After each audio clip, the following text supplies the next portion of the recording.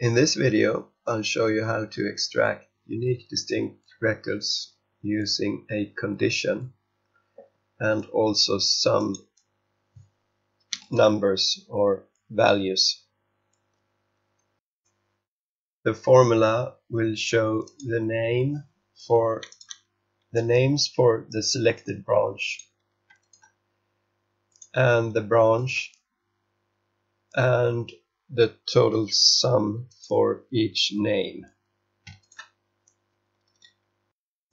The COUNTIF function lets you extract unique distinct values and I'm going to show you how it works. The COUNTIF function and then the cell right above and this cell reference is special because it the first part will be locked and that will not move and the second part will move. And to lock a cell reference press select the cell reference and press function key F4 and this will make the cell reference change as you copy the formula to cells below and in the second argument I'm going to use the criteria. And in this case it will be an entire cell range. And lock that too. We don't want that to change. And now the COUNTIF function will count the value in this cell here in this column here. And since there is there are no blanks in this column here it will return 0 in each value in this array. So enter this as an array formula and to do that you press and hold Control and Shift and then press enter once and then release all keys. And now you can see here in the formula bar that there are curly brackets and this tells you that this is an array formula. However, it doesn't it doesn't show you all the values in the array so you need to extend this formula to cells below.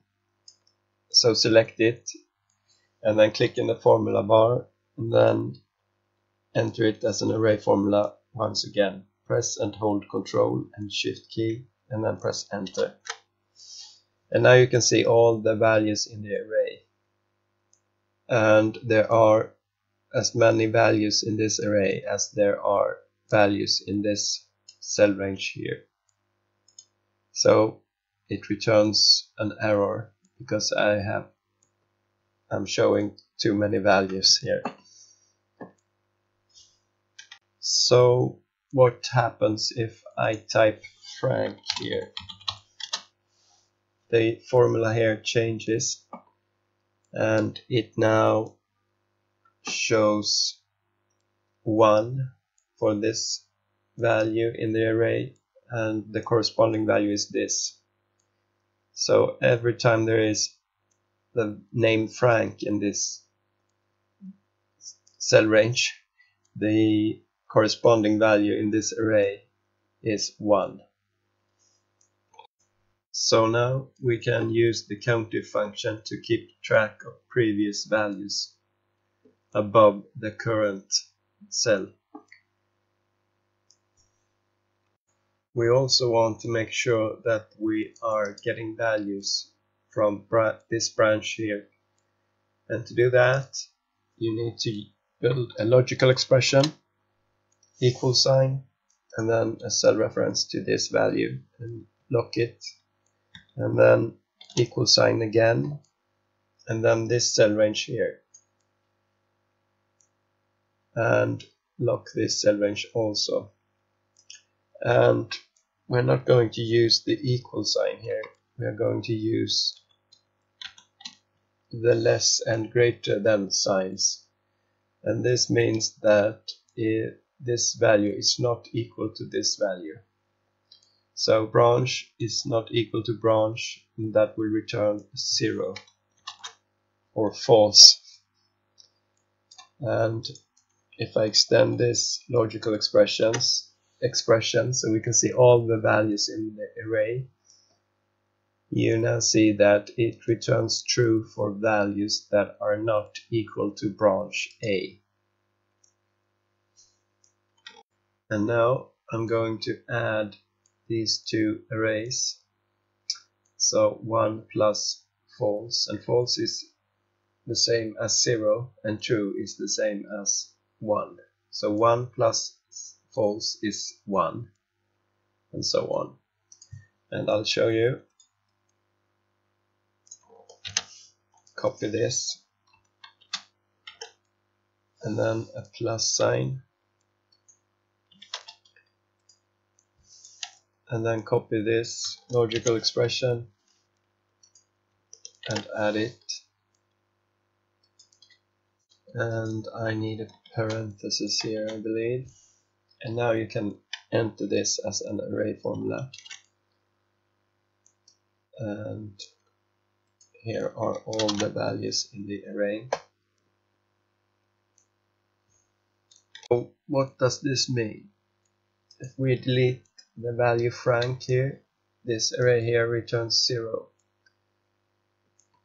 because there are no values above this cell. And this array here, or formula, returns false for the values branch here. So now we know the values we need to extract because they the values we're looking for has zero in in the in this array here and to look for them I'm going to use the match function.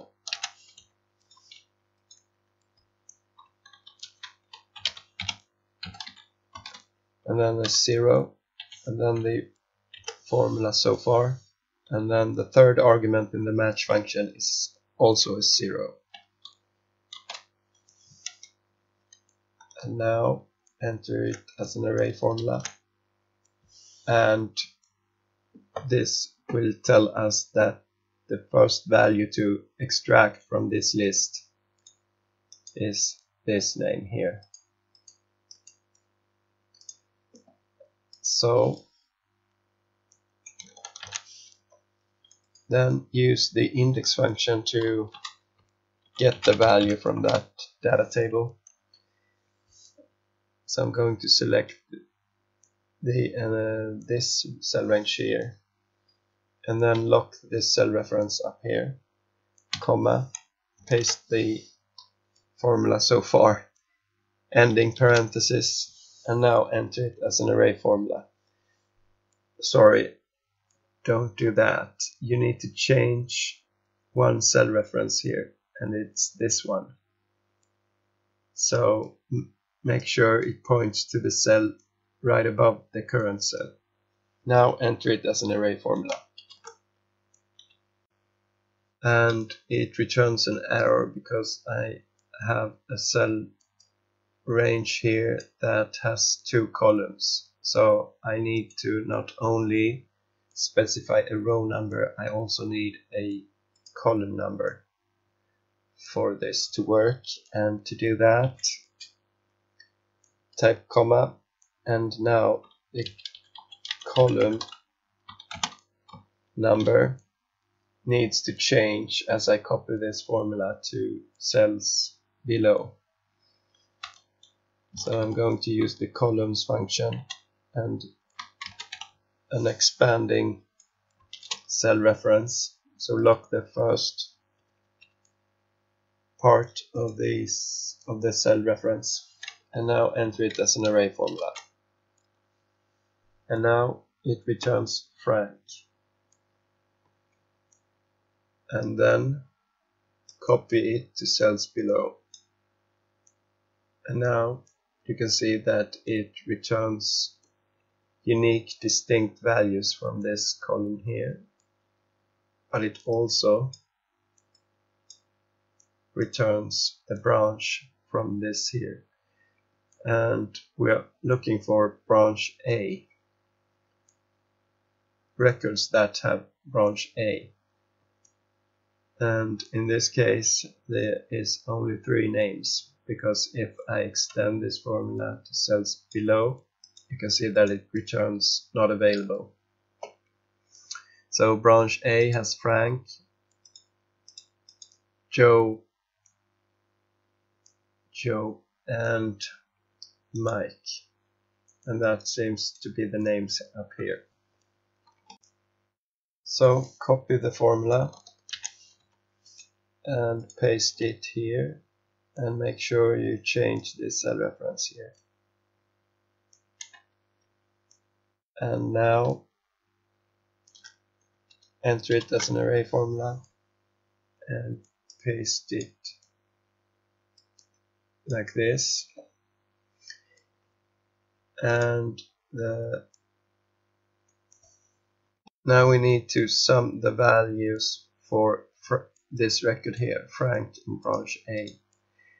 And to do that, I'm going to use this sum ifs function. And the first argument here is this cell range here, the values I want to sum. And the criteria range is going to be this range here. And I need to lock the cell references here because I'm going to copy this formula to these cells here. And the third argument is the criteria value and it's going to be Frank here. And then the fourth argument is the criteria range and it will be this cell range here and lock that. But don't lock this cell reference here because it will also change as you copy to cells below. And the last argument in this formula will be the branch here. now an ending parenthesis and then press only enter. And you can see that the formula has added this value and this value and this value. And 10 plus 20 plus 40 is 70